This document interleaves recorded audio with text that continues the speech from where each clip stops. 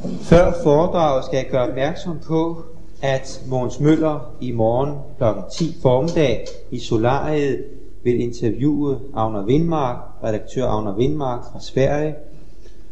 Øh, og jeg kan meget anbefale dem at være til stede og høre, hvad herr Vindmark har at fortælle om sit arbejde med vegetarisme i Sverige. I eftermiddag har vi gruppearbejde kl. 16, som vi plejer, og jeg har lovet at nævne nogle af de emner, som kan blive behandlet, sådan man har lejlighed til at tænke lidt over det, før man pludselig står i situationen. Der er for det første tilpasningsproblemer til familie og samfund, når man har disse interesser. For det andet, astrologi er der nogen, der gerne vil diskutere i forbindelse med analyserne. For det tredje, handicappedes behandling i samfundet. For det fjerde, skole- og undervisningsproblemer. Og en gruppe, hvis emne skulle være mine erfaringer med Martinus analyser.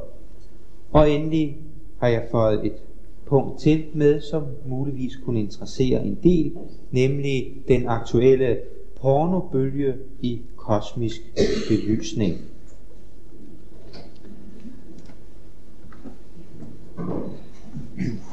Jeg har haft store vanskeligheder med at få alle de ting, jeg gerne vil fortælle dem om Martinus analyser, placeret inden for disse tre foredrag. Og hvis de kunne se mit manuskript her i dag, så ville de se mange overstregninger. Øh, jeg vil derfor bede dem, indstille dem på, at det nok også i dag kommer til at vare en god klokketime. Men jeg håber, det går an. Foredraget i dag hedder Mennesket og Kosmos. Og når man ser på det store univers, der omgiver os, og prøver at danne sig en opfattelse af det, så kan man jo komme til forskellige muligheder. Man kan opfatte det sådan, som det er almindeligt i vores vestlige kulturkreds. Man kan opfatte det materialistisk. Det vil sige, man anerkender, at der eksisterer en lang række naturlove. Men samtidig mener man, at de skabe projekter, som er en virkning af disse naturlove, altså kloden og de levende væsener på denne klode, at de er tilfældige produkter af disse naturlove. Hvis det var således, at der på denne klode kun var skabt på den tilfældige basis en enkelt organisme, en enkelt lille plante eller måske nogle stykker, så er det muligt, man til nød kunne gå ind for dette synspunkt og antage, at her var der altså et helt tilfældigt produkt af disse naturlove. Men sådan er det jo ikke. Det er jo tværtimod således, at der knap er en plet på denne planet, hvor der ikke findes liv. Og de organismer, selv de simpleste organismer, man finder, de er, når de bliver nøjere studeret, når de bliver studeret med mikroskopet, alle højst komplicerede og hensigtsmæssige i deres struktur. Således betragtet har materialismen ikke ret meget, der taler for sin teori. Man kan også antage et religiøst dualistisk synspunkt. Og dermed mener jeg, at man antager, at der er en levende, skabende magt bag ved universet, men at denne magt netop er bagved eller uden for universet. Og denne magt opfatter man i, efter den kristne tradition som oftest som altså en Gud i menneskelig skikkelse, en vor Herre, der står uden for verden og producerer verden og øver indflydelse på begivenhederne i verden. Dualistisk kalder jeg den, fordi det er en tohed, verden for sig, Gud for sig. Også Martinus verdens billede, hans opfattelse af kosmos er religiøst, men ikke dualistisk, derimod monistisk. Og det skal forstås på den måde, at Gud og verden ikke er to ting, men er én ting. Det vi ser, når vi ser ud på naturen, når vi ser på planter og dyr, når vi ser på scenerierne på en sommerdag, vinden der blæser, skyerne der sejler, solen der stråler osv. Dette er et blik ind i Guds egen organisme. Og vi ser, at alle disse livsprocesser i Guds organisme, de er hensigtsmæssige. De opfylder alle sammen formål. De er alle afstemt efter hinanden, således at det er muligt for de enkelte levende væsener at opleve tilværelsen. Man må jo undre sig, når man studerer en organisme og ser, hvor kolossalt sammensat den er, hvor afstemt den er, hvorledes alt afhænger af hinanden, og kun fordi alt er indbygget på en ganske bestemt måde, kan den fungere så hensigtsmæssigt, som det er tilfældet. Hvis der er brist nogle steder, så opstår der sygdomme, og så ser vi, hvorledes oplevelsen, livsoplevelsen mislykkes. Alle livsprocesser er som sagt hensigtsmæssige. Og når de er det, så må vi antage, at der øh, bag de synlige processer eksisterer nogle styringscentre, som, som administrerer de kræfter, som er nødvendige. Med andre ord, der må være en skabe evne. Og nu kan de måske allerede se, at vi er i stand til at bruge den samme model på universet, som vi brugte, da vi beskrev det levende væsens struktur. Der må bag det ydre synlige univers være en skabe evne. Og en skabe evne er kolossal, er kolossale dimensioner. En guddommelig skabe evne bestående af styringscentre, altså talentkerner, som er i stand til at styre disse mange energier. Men når det er tilfældet, så må der også være et jeg til stede. Der må være noget, som er i stand til at bruge denne skabevne. Et noget, som kan bestemme, om et talent skal udvikles, eller det ikke skal udvikles. Om en skabeproces skal gå i den ene retning, eller gå i den anden retning. Også i denne model har vi altså brug for et noget, der eksisterer hinsides tiden og rummet, og derfor kan øve indflydelse og have magt over tiden og rummet. Også guddommen må altså være i besiddelse af et jeg med de samme egenskaber som de enkelte levende væseners eget jeg. Et jeg, der er evigt og uendeligt. Og vi står altså her med en model af kosmos, så enkel og så simpel som den grundmodel, vi har af det levende væsen. Evigheden øh, kan kun eksistere i én form. Det vil sige, at jeget kun kan have én eksistens. Konsekvensen heraf bliver, at Guds jeg og de enkelte levende væseners jeg er et og det samme. Var der to evigheder, jamen så havde vi jo en sådan differentiation inden for det begreb, som gjorde oplevelse af det muligt.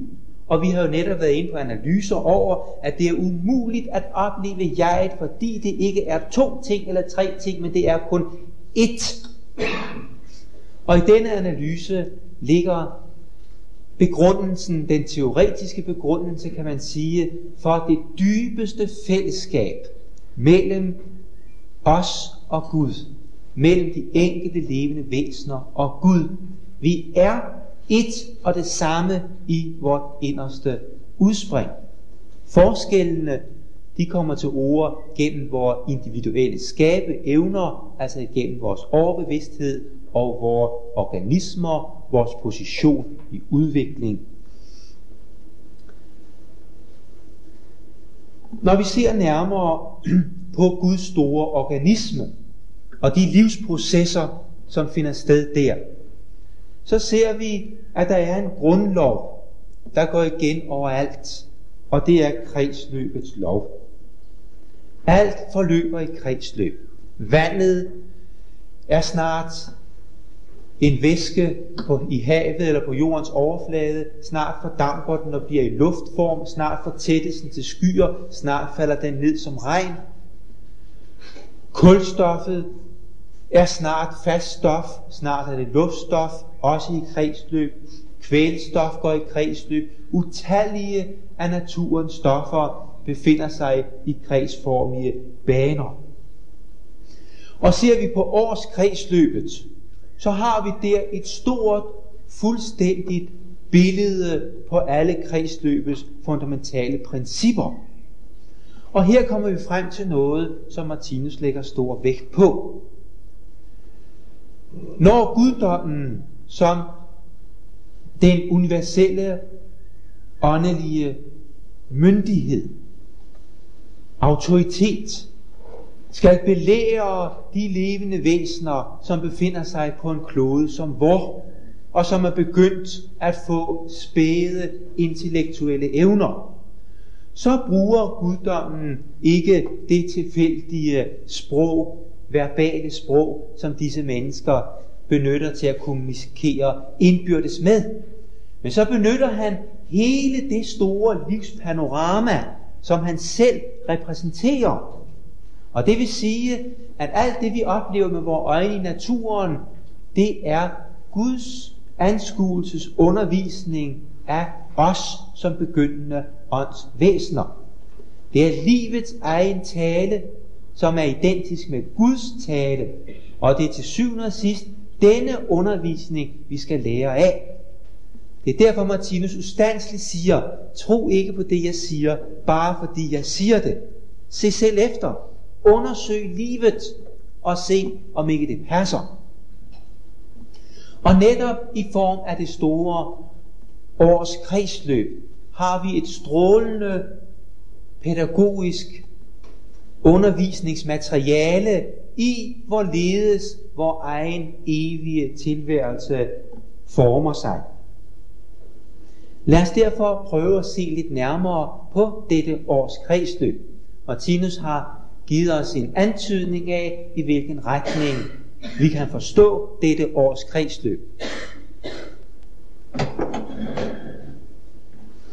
Med dette symbol.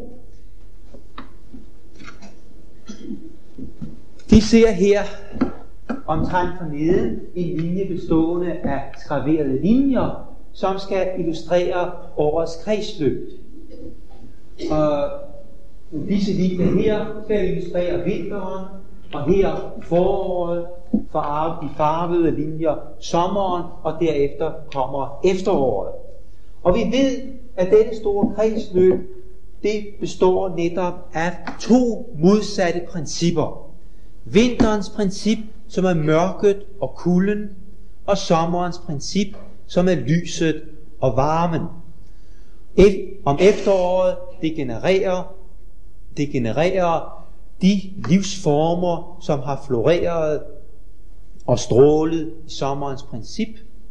Og i forårsperioden ser vi, hvorledes livsprocesserne folder sig ud for at kulminere i sommerens lys og varme. Dette kredsløb er et billede på vores egen, vores egen, vores egen evige tilværelse.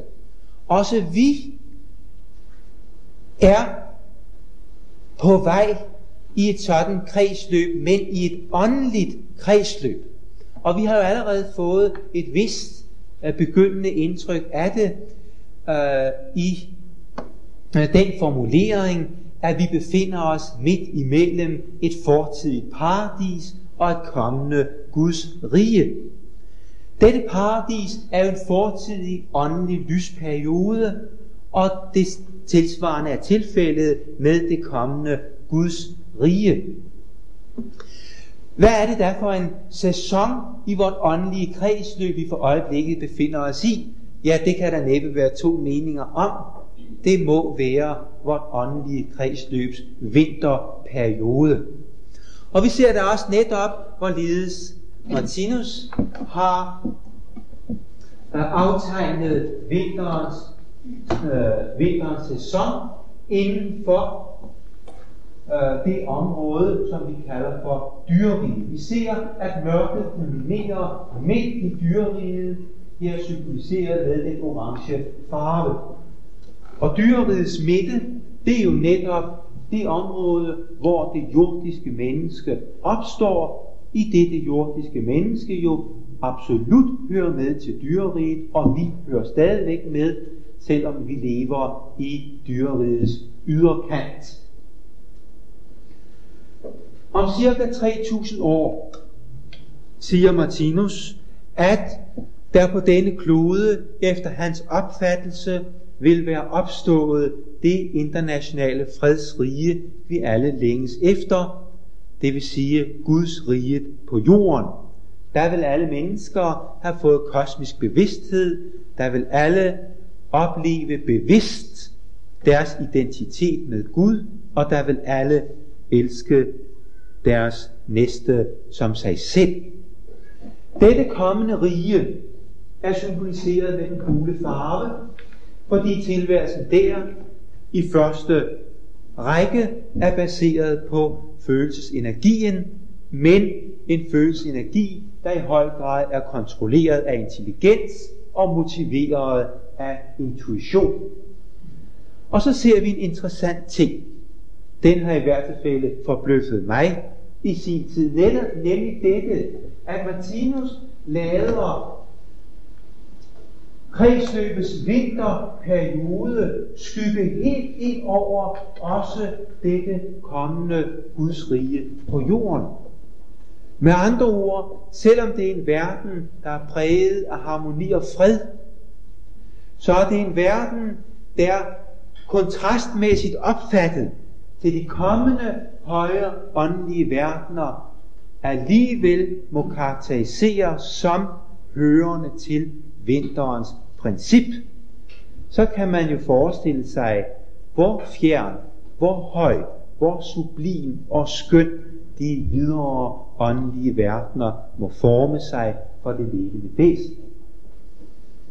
Efter år millioners oplevelser i disse verdener, vil vi gå videre i vort åndelige kredsløb mod nye højder, som nu er præget i højere grad af intelligensenergien, men stadigvæk i kombination med følelse og i endnu højere grad motiveret af intuition. Vi er nu inde i verdener, som overhovedet ikke er fysiske. Vi er inde i verdener, hvis groveste materielle former er det, som vi kalder for tanker. Vi er nu inde i Guds eget åndelige værksted. Og det siger sig selv, at det er vanskeligt nærmere at beskrive disse områder, fordi vi, ikke, fordi vi eksisterer så langt fra dem.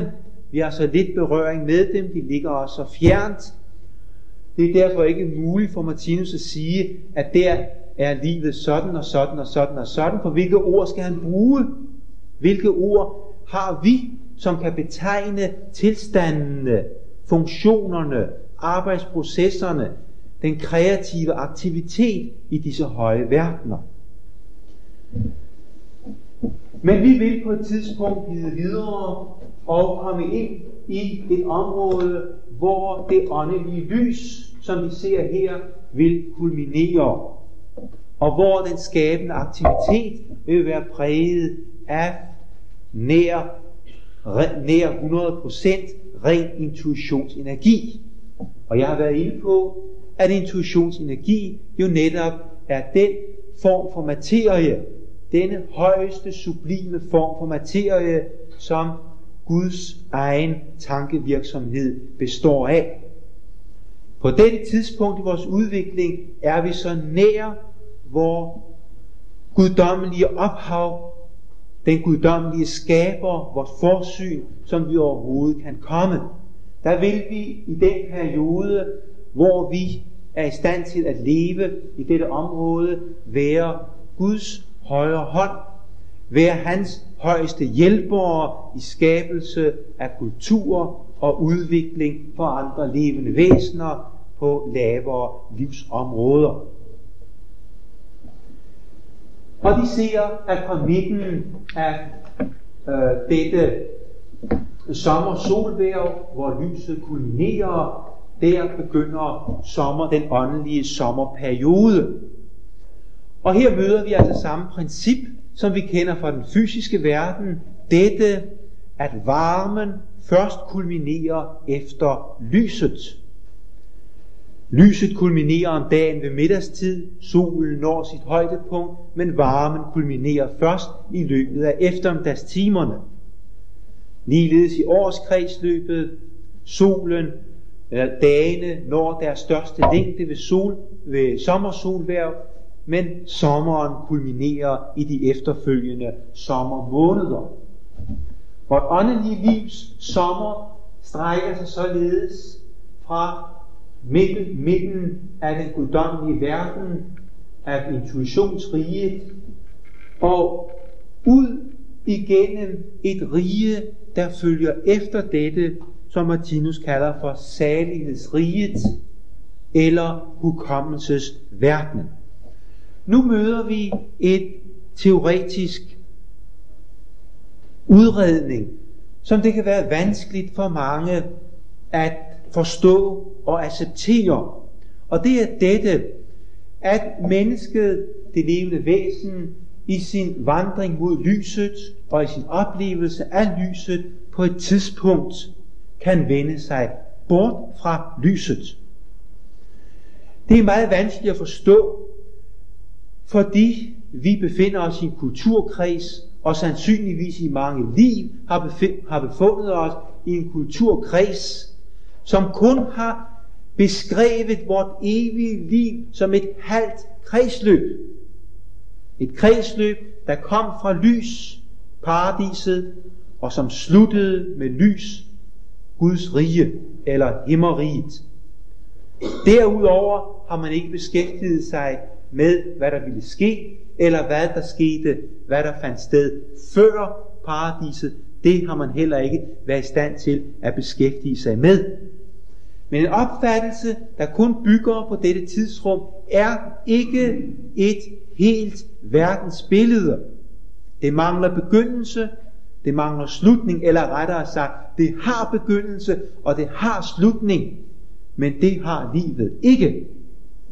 Det er et af livets vigtigste karakteristika, at livet har ikke nogen begyndelse eller nogen slutning. Hvis livet overhovedet havde nogen slutning, så ville det for længst være afsluttet. Vi må derfor prøve at forstå vort evige liv som et kredsløb, som noget, der vibrerer imellem kontrastmæssige yderpunkter. Og Martinus prøver at forklare os dette ved at bruge pædagogisk vores egne daglige erfaringer. Han forklarer os, hvorledes vi jo selv her i vores daglige liv oplever, at vi ikke kan blive ved med at opleve den samme tilstand.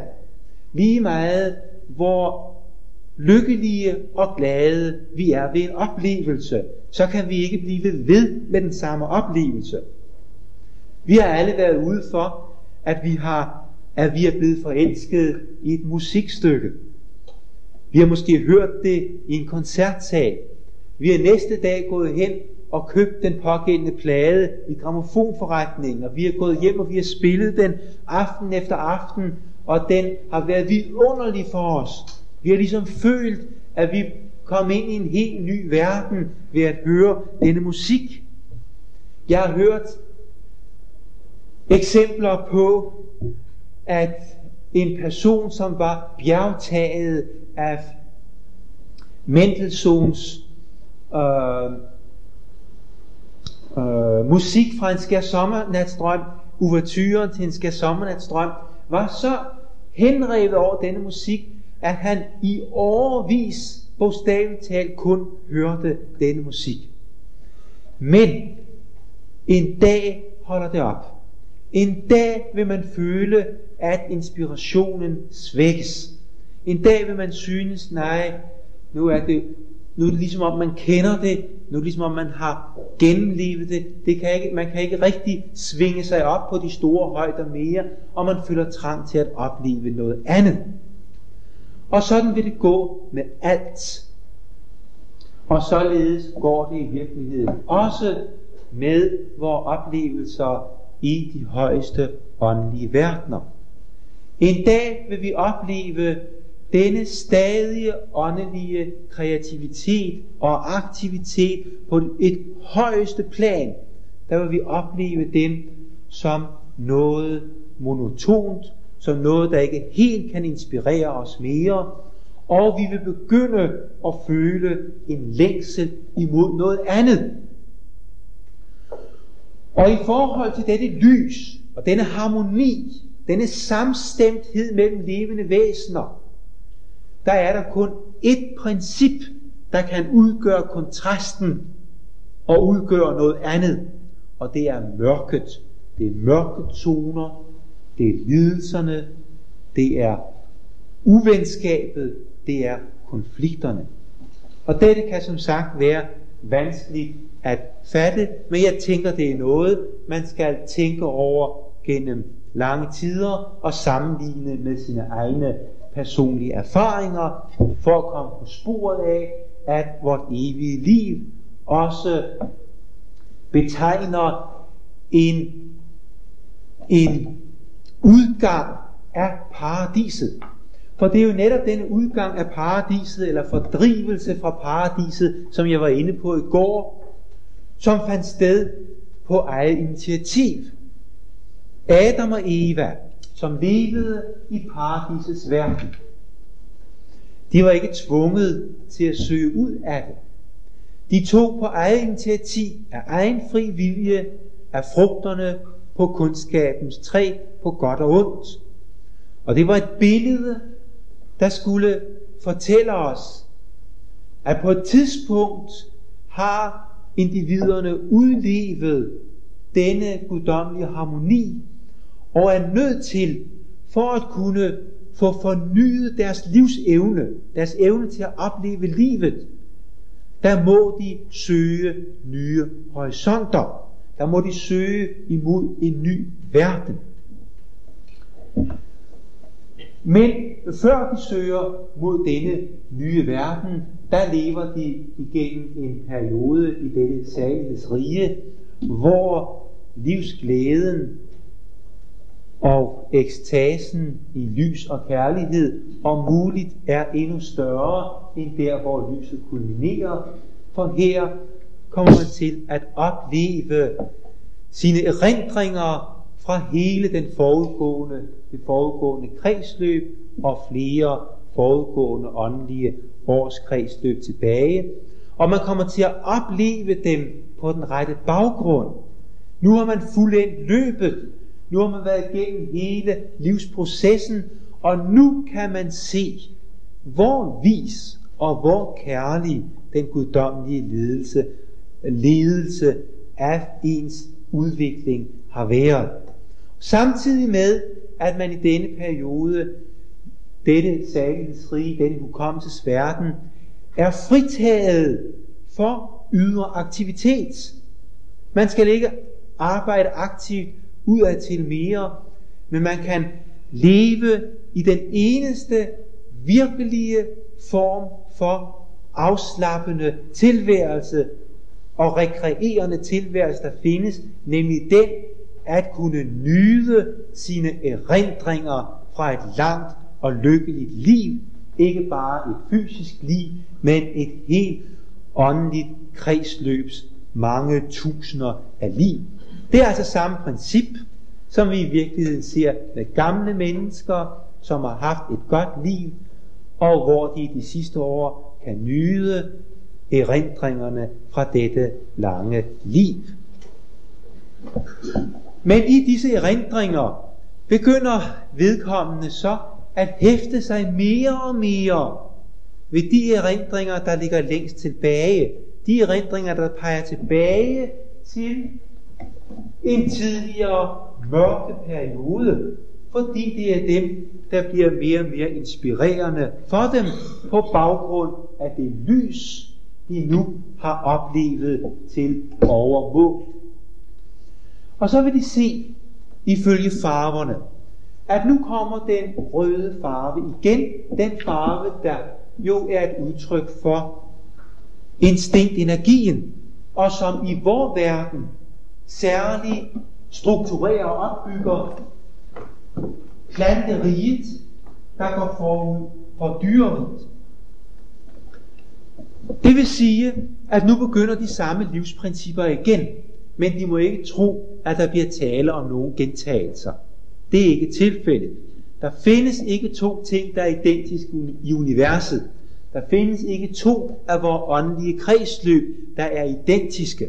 Og det vil de forstå meget klart med mine næste bemærkninger, som godt kan være vanskelige at acceptere, og det skal de heller ikke gøre. De kan blot tage det som et teori, som en teori, som et perspektiv, som noget, der giver dem emner at overveje.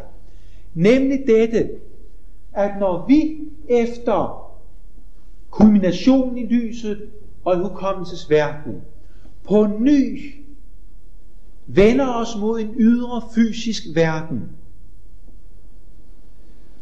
på basis af instinktive, automatiske, ubevidste kræfter.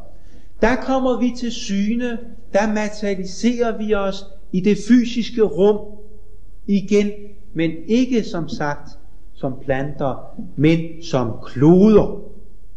Der bliver vi klode væsner. Der bliver vi i første omgang instinkt-kloder, og senere vil vi blive tyngdekloder, og hele det næste åndelige kredsløb, i hele det næste åndelige kredsløb, der vil vores fysiske tilsynekomst, vores fysiske fremtoningspræg, have, have klode format. Og når jeg har sagt det, så kan de nok se, at så er der ikke tale om nogen gentagelser. Og de vil samtidig kunne se, at Martinus hermed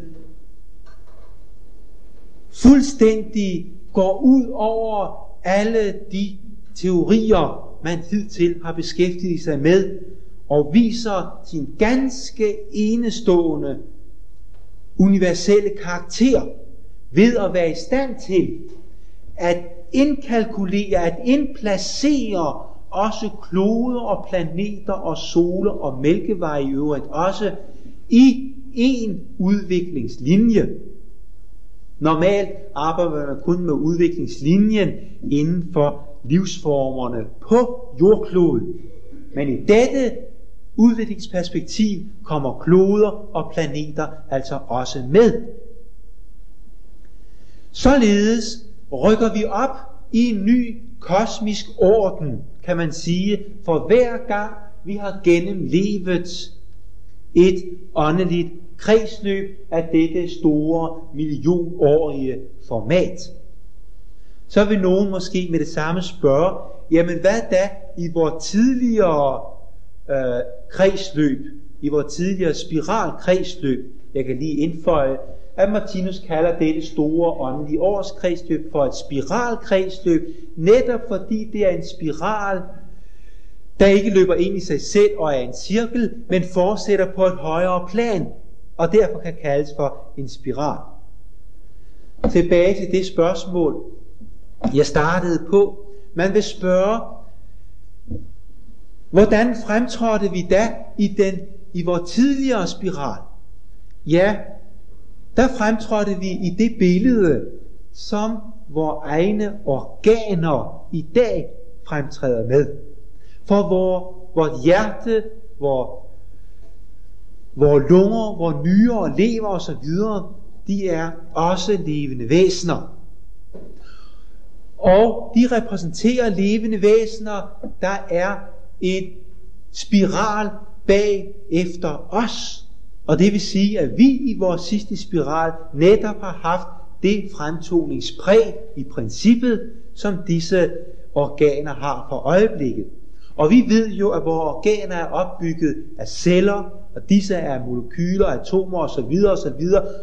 En rækkefølge, der ikke er nogen ende på. Hele denne række følge er i Martinus verdens billede indplaceret i et langt udviklingsperspektiv, der ingen begyndelse har og ingen ende har heller. Jeg ved godt, at det er det er en meget stor, mundfuld, meget stor mundfuld, teoretisk stort omfang, men det er jo netop dette omfang, der gør Martinus analyser så geniale. Det er jo netop dette perspektiv, der bevirker, at Martinus analyser vil kunne give næring, ikke bare en første næring til os, men en næring til andre mennesker på denne klode og mennesker fremover, som har behov for at se hele universet. Ikke blot et lille udsnit, men hele universet under et, en synsvinkel. Fra denne lille lufttur vil vi i midlertid vende tilbage til vores egen jordiske position, og det er jo således, at reinkarnationskredsløbet, som vi nu skal beskæftige os med, det bliver jo næsten en lille jordnær detalje i forhold til disse vældige områder. Vi vender altså tilbage til den menneskelige udvikling. Jeg har prøvet at skitsere hovedlinjerne i udvikling fra dyr til menneske. Og jeg håber, at jeg har givet indtryk af, at det er en lang udviklingsperiode for at få instinktcenteret afløst af et intuitivt center, for at få dyret omskabt til et kristusvæsen, det vil sige et fuldkommen menneske med kosmisk bevidsthed. Og det vil sige, at det enkelte jordiske liv på cirka 70-20 år, 7-10 år, det er på ingen måde absolut ikke tilstrækkeligt til at fuldbyrde denne udvikling. Den psykiske udvikling er lang, men kroppens tid er kort. Og derfor bliver vi nødt til, siger Martinus, at forstå, at mennesket ikke blot har et fysisk liv, men har en kæde af fysiske liv øh, forud for det nuværende liv og efterfølgende dette liv, hvor det kan fortsætte sin psykiske udvikling. Dette kredsløb, dette reinkarnationskredsløb, det kan forstås i billedet af det store årskredsløb. Ja, det er i virkeligheden dette spiralkredsløb en miniatyr. Og det er en af disse ting, der giver tillid til Martinus analyser. Dette, at han kan vise, at det er de samme principper, der går igen i det små og i det store. Kredsløbene er nemlig opbygget af andre kredsløb. Ligesom årets kredsløb er opbygget af døgnets kredsløb. Døgnet er jo et skifte mellem lys og mørke, lys og mørke, der opbygger det store års kredsløb med vinter og sommer. På samme måde er vores åndelige livs kredsløb med mørke og lys og mørke og lys er opbygget af mindre åndelige kredsløb, og disse kredsløb er netop reinkarnationskredsløbet. Det skal dog siges i en parentes, at disse kredsløb kun finder sted inden for den del af spiralkredsløbet, som vi kan kalde den fysiske del, det vil sige planteriget, dyreriget og i menneskeriget. Jeg var inde på allerede i mit første foredrag, at for hver af de grundenergier, som vi har til rådighed til at skabe vores tilværelse, vores organisme, der har vi en, et læme, en krop, en organisme. Og vi har derfor i virkeligheden seks forskellige lægemer, som vi kan bruge til at opleve livet med. Og alle disse seks lægemer er af parafysisk natur. Det vil sige, de er ren elektromagnetisk natur. Og her vil jeg gerne udvide og korrigere min forklaring lidt fra det første foredrag, i det nogen netop har gjort mig opmærksom på dette forhold, øh, som jeg nu skal fortælle om. Nemlig dette, at vores fysiske lægeme, det vi har her, det er faktisk en udbygning eller en tilbygning på to af disse seks parafysiske lægemer, nemlig instinktlægemet og tyngdelægemet. Det vil altså sige, at selvom vi ikke havde dette fysiske lægeme, så ville vi alligevel have seks lægemer, et for hver af disse øh, parafysiske eller elektromagnetiske grundenergier. Dette fysiske lægeme, som vi har her, det er noget for sig. Martinus har mange gange givet udtryk for, at det ligesom er en tilbygning på vores virkelige lægemer, og, en til, og at vores fysiske oplevelser er en tilbygning på den, det virkelige liv. Det vi oplever her, det er ikke det virkelige liv. Og denne organisme er heller ikke en virkelig organisme, altså en primær organisme. Det er en organisme, som er skabt med et ganske specielt formål, nemlig dette formål at opleve mørket og opleve konflikter og lidelser. Det er en organisme, som er lavet for at vi kan få fornyet vores oplevelsesevne.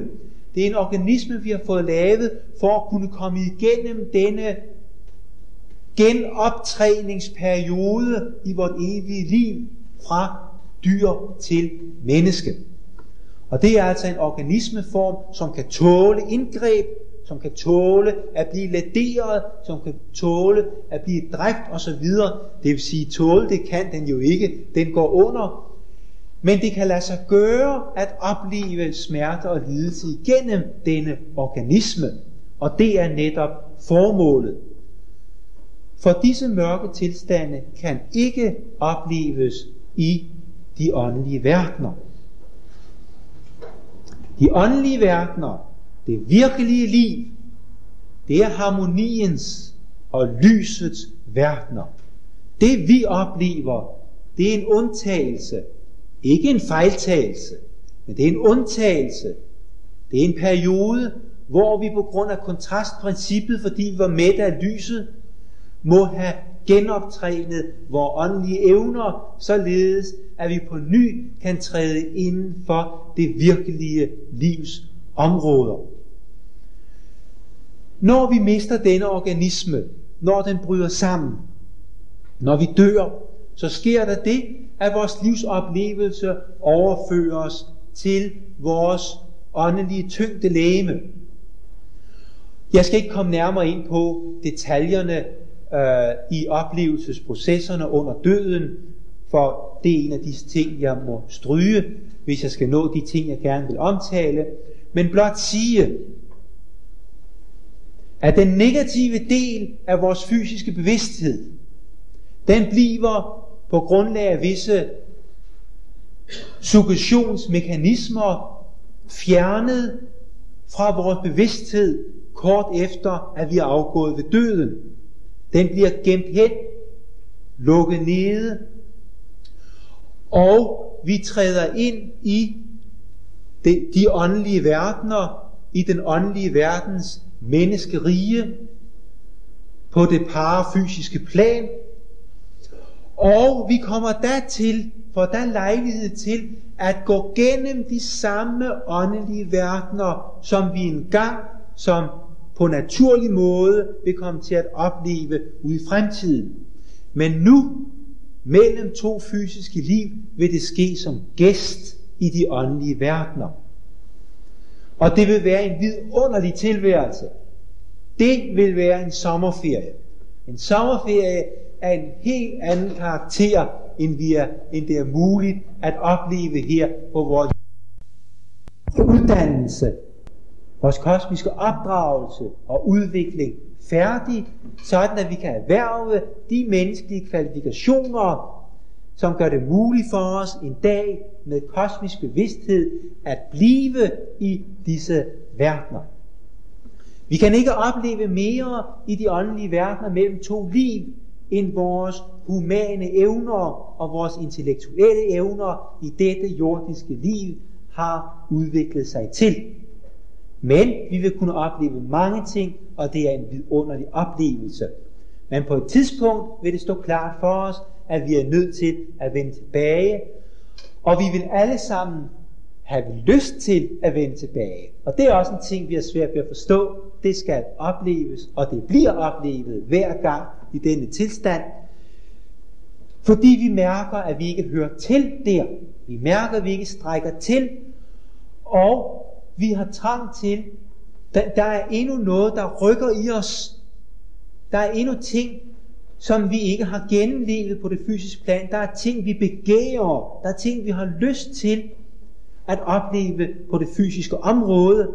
Og disse ting vil ganske naturligt tiltrække os, således at vi på ny inkarnerer, bliver undfanget og inkarnerer, bliver født hos forældre i et miljø, hvor vi kan fortsætte vores udvikling, og hvor vi kan få opfyldt de ønsker om fysiske oplevelser, som vi har, og som har været med til at trække os til det fysiske liv, men hvor vi også kan opleve konsekvenserne af disse ønsker, og hvor vi på basis af disse erfaringer kan få videre udviklet vores åndelige evner. Beviser, vil nogen sige. Bevis, at reinkarnationen er en realitet. Det kan jeg ikke. Jeg kan ikke bevise tingene på den måde, som man normalt beviser noget, ved at gøre det objektivt kontrollerbart, sådan at det kan kontrolleres af enhver. Det kan jeg ikke, og det kan man ikke, i hvert fald ikke endnu.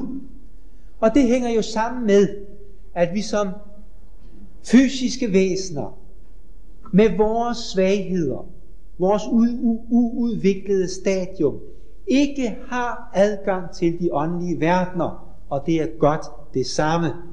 Der står adgang forbudt for ufærdige væsener som os.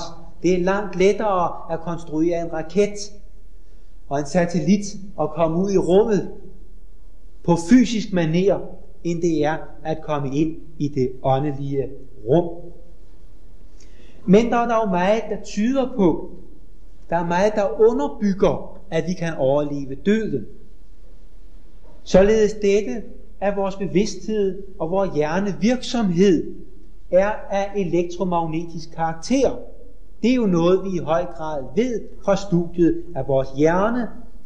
Og det er helt enkelt at forestille sig, at denne elektromagnetiske struktur kan overleve vores fysiske organismes død. Vi kan også nævne dette, at der faktisk findes eksempler på, at mennesker, der har lukket deres øjne, et øjeblik efter på ny har åbnet dem, og med et svagt, men strålende smil til deres nærmeste har kunnet sige, der er en lysets verden forude. Jeg har ikke selv oplevet det, men jeg har talt med et menneske, en fru Toksvig, som oplevede det for sin egen fars vedkommende. Og så findes der jo en ny forskning, en parapsykologisk forskning, som netop beskæftiger sig med disse områder. Og her vil jeg meget gerne fremhæve en fremragende bog, som netop er udkommet her i foråret, skrevet af en af sagens venner og medarbejdere, nemlig Nils Olof Jakobsen, som hedder Liv efter døden. Og i denne bog har Nils Olof Jakobsen givet udtryk for en lang række af de erfaringer, man, eksperimentelle erfaringer, man for øjeblikket har om disse områder. Om clairvoyance, prækognition, psykokinese osv. osv. Jeg kan ikke, desværre ikke nå at komme ind på mange af disse ting, Men Nils Olof Jakobsen er selv til stede i feriebyen for øjeblikket, og jeg er helt sikker på, at de kan få ham til at fortælle om nogle af disse erfaringer.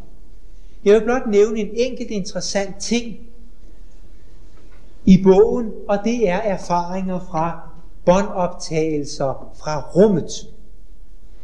I 1959 ville en Friedrich Jürgensen med sin båndoptager prøve at optage fuglesang. Bogfinkens sang.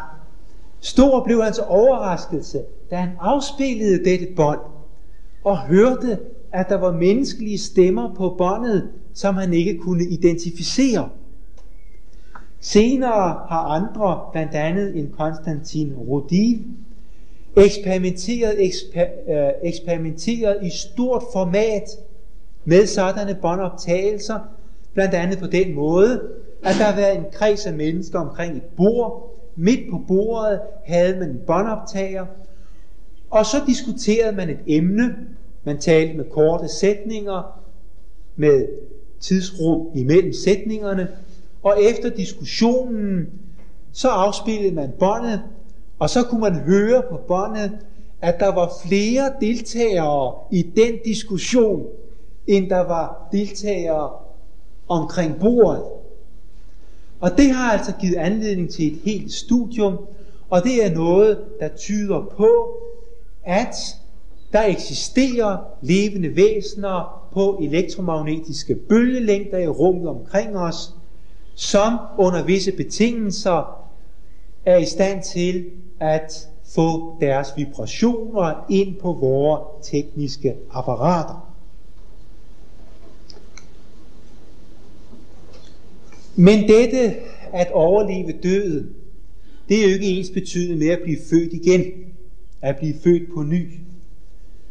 Men også med hensyn til selve reinkarnationen, bliver der arbejdet intenst visse steder. Og her vil jeg gerne fremhæve den amerikanske Dr. Stevenson, som har samlet en lang række eksempler på mennesker, der kan huske fragmenter fra deres tidligere fysiske liv. Og han har virkelig arbejdet alvorligt, eksperimentelt og videnskabeligt med disse erfaringer. Og den bog, han har udgivet på engelsk, hed 20 Cases Suggestive of Reincarnation. Og vi er så heldige, at en af sagens medarbejdere, direktør Benjamin Saxe, netop har oversat denne bog, således at den forekommer på dansk og hedder 20 tilfælde, der tyder på reinkarnation. Og det er Per Bruce Jensen, som har udgivet bogen på sit eget forlag. Den kan rekvireres fra Instituttet i København. Og det er en meget interessant bog, der virkelig videnskabeligt prøver at tage disse problemer op. Stevenson giver selv udtryk for, at det er, øh, at man ikke må drage for hvide konsekvenser af disse vidnesbyrd. Man skal være forsigtig med sine fortolkninger. Og det er jeg glad for, at han siger. For øh, der er ikke helt overensstemmelse øh, mellem disse øh, erfaringer og Martinus analyser, og det fortjener at blive nævnt, uden at det udtrykker nogen ringeagt for det pionerarbejde, som Stevenson og andre udfører. Det er muligvis således, at mange af disse tilfælde, øh, som foregives som reinkarnation, i virkeligheden ikke er reinkarnation, men er det, man kalder for besættelse. Det vil sige, at et væsen, som er diskarneret, men endnu ikke har forladt sin fysiske bevidsthed på det åndelige plan og stadig er tiltrukket af det fysiske område, er i stand til at besætte et andet menneskes centralnervesystem og i en periode kan bruge dette menneskes hjerne. De ved fra det nye testamente, at det hedder, at Jesus uddrev onde ånder. Og mange i dag vil trække på skulderen af dette fænomen. Det er der absolut ingen grund til. Martinus giver udtryk for, på basis af sine ganske specielle evner, at mange af de mennesker, der i dag lever på vores sindssygehospitaler, vores statshospitaler, det er mennesker, som i virkeligheden er besat af åndelige væsener fra det parafysiske plan. Men der er også et andet notabene, der bør sættes ved disse tilfælde på reinkarnation. I visse situationer, der ser man nemlig, at vedkommende i sin nye inkarnation har skiftet køn. Altså en, der tidligere har været en mand, bliver i den nye inkarnation en kvinde. Og en, der tidligere har været en kvinde, bliver en mand. Det er noget, der ud fra Martinus analyser absolut ikke kan finde sted. Og det giver mig anledning til at komme ind på øh, en side af menneskets udvikling, som jeg ikke har øh, været inde på endnu, men som man bør komme ind på i et kursus, der skal dække Martinus analyser, og derfor vil jeg prøve også at sige noget om det i store træk, nemlig menneskets personlighedsseksuelle udvikling. Menneskets køn, dets hankøn eller hunkøn, det er ikke et tilfældigt appendix eller tilbygning til dets fysiske organisme. Kønnet er en integreret del af den menneskelige personlighed. Kønnet er en del af instinktcentret. At et menneske fremtræder som en mand, vil sige, at han er maskulin i hele sin sjæl, og hele hans adfærd, og hele hans livsanskuelse, og hele hans adfærd, som sagt, er præget af den synsvinkel, at han er et handligt væsen. Psykologerne har der også fået bekræftet, at dette er være dominerende, som jo er karakteristisk for mænd, navnlig primitive mænd, at dette dominanstræk, det er en virkning af det handlige kønshormons tilstedeværelse i organismen. Ligesom den primitive mand først og fremmest er et handvæsen, således er den primitive kvinde først og fremmest et hundvæsen. Og hvad vil det sige? Ja, det vil sige, at de er mennesker, som har brug for hinanden. Mennesker, som ikke kan undvære hinanden. Som ligesom er nødt til at støtte hinanden, fordi de komplementerer hinanden eller supplerer hinanden. Ingen af dem er et helt menneske. De er, hvad man kunne kalde for halve mennesker i deres psykiske struktur. Lad os se lidt nærmere på det. Hvad er deres fælles psykiske struktur? Ja, både manden og kvinden bygger, altså den primitive mand og den primitive kvinde, bygger på instinktcentret, det vil sige selvopholdelsesdriften og egoismen. Øh, og udnytter der tyngdeenergien, den primitive tyngdeenergi, som jeg har været inde på.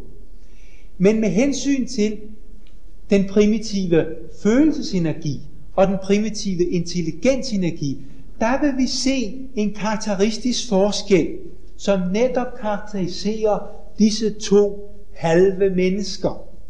I det det viser sig, at den primitive mand i sin bevidsthed for uden instinkter og tyngde benytter sig overvejende af primitiv intelligens. Og hvordan kommer det til udtryk? Ja, det kommer jo til udtryk i dette, at den primitive mand i familien er den udadfarende kraft.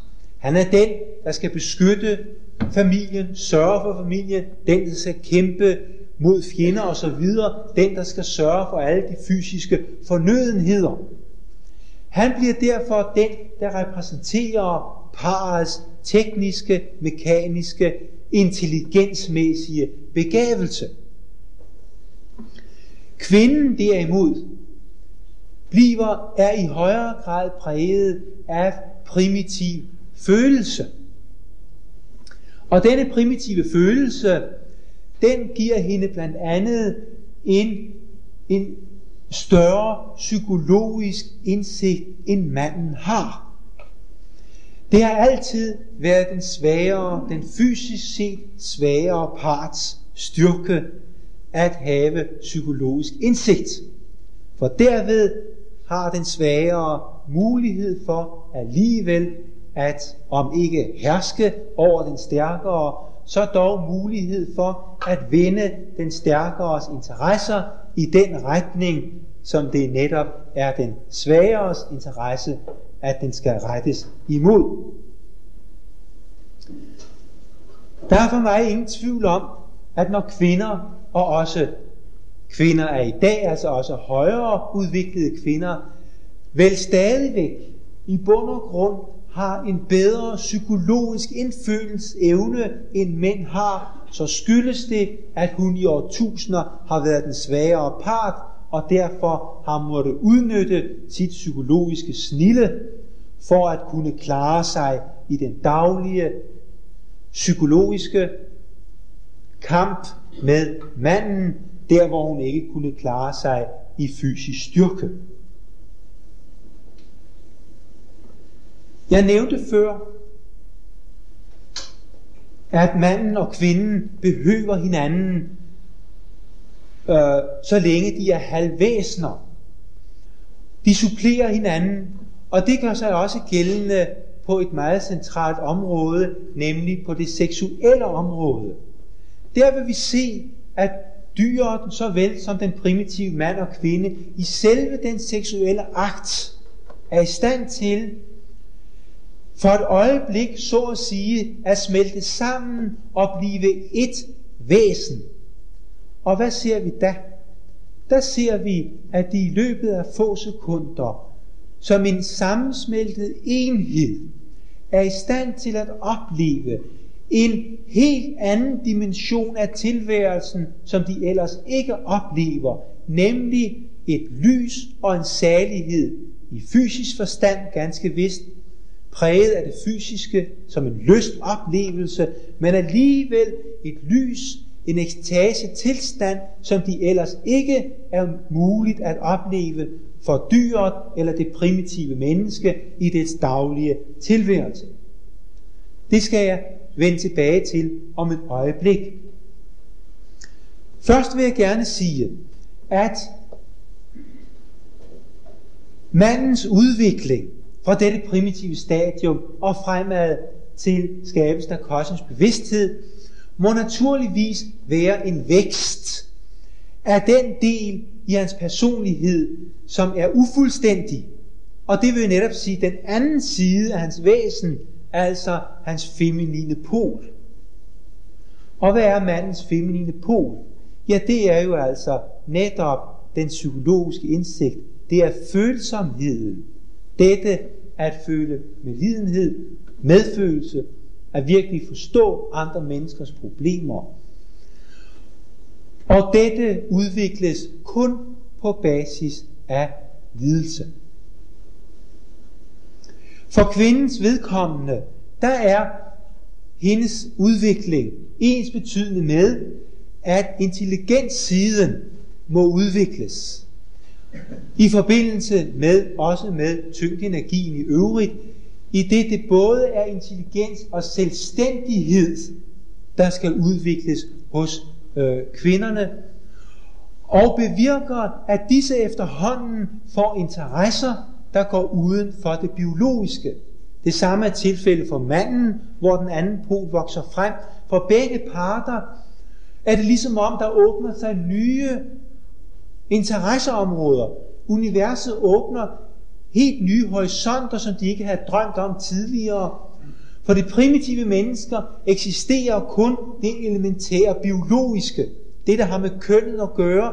Det, der har med, med øh, familie og hjem øh, og klanen, slægten osv.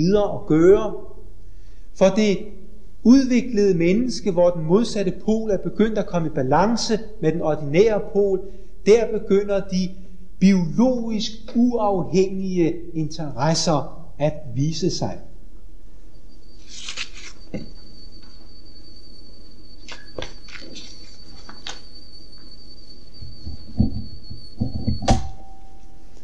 Jeg var inde på før, at der hvor det primitive menneske som et halv menneske i mødet med et andet halv menneske er i stand til i et kort øjeblik at opleve en ekstase.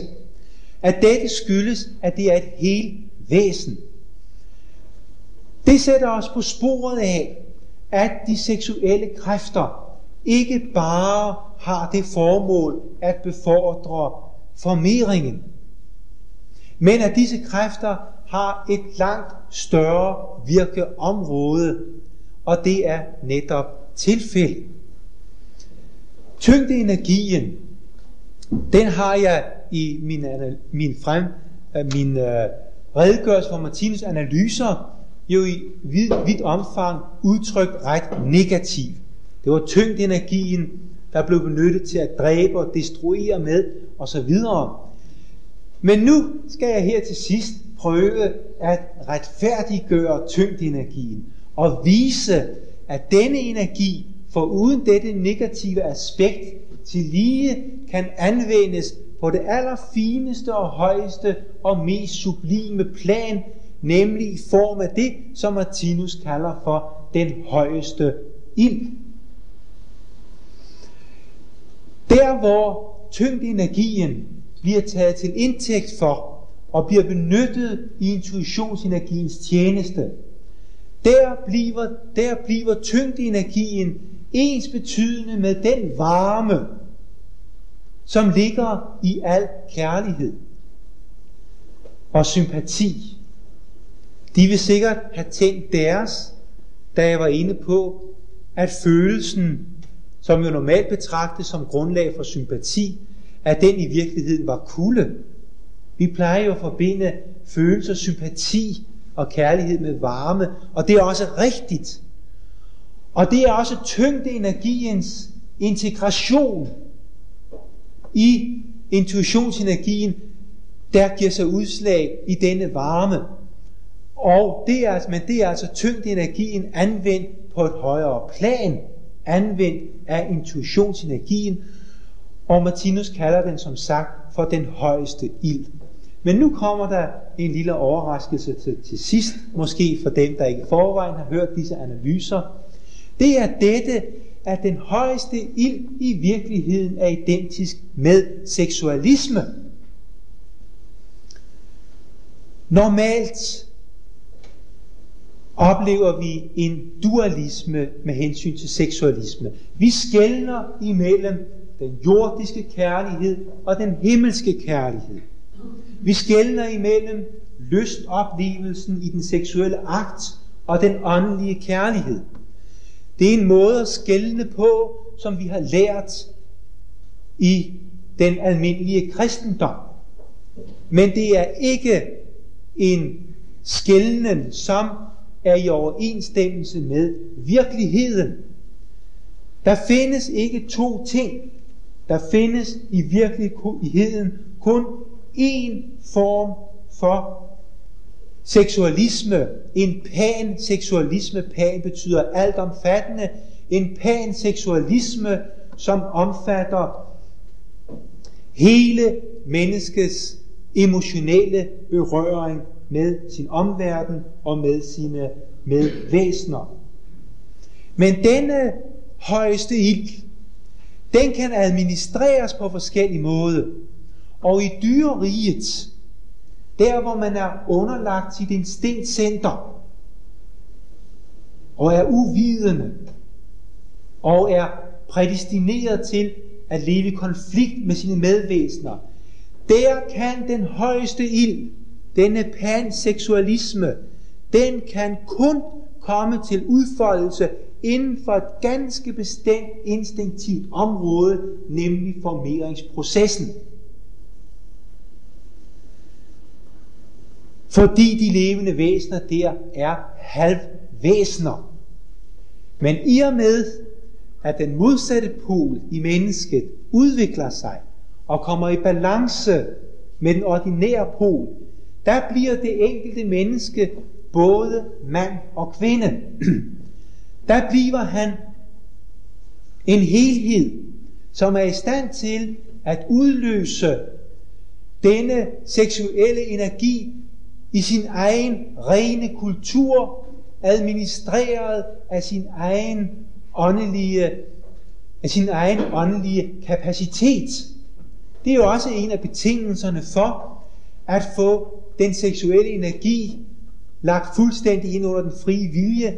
Dette at man er blevet et åndeligt væsen, der er voksen, der er moden, der virkelig forstår at administrere disse høje kræfter, således at de ikke gør skade på mennesker, på andre mennesker, sådan som det jo i høj grad er tilfældet netop på, i udviklingsområdet fra dyr til menneske.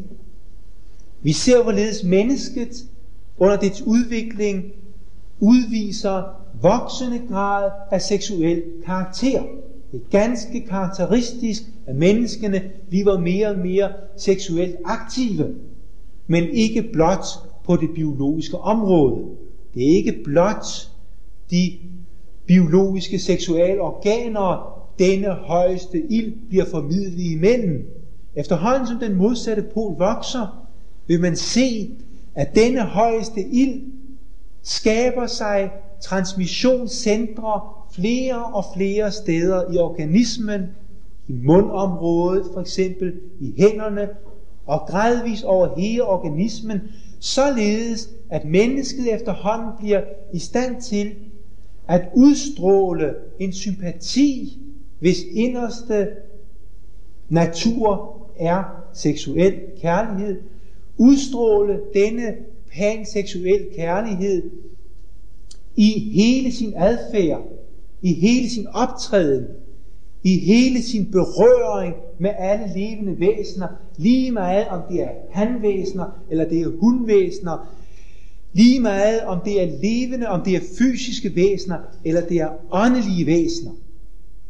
Og der vil jeg gerne slutte med at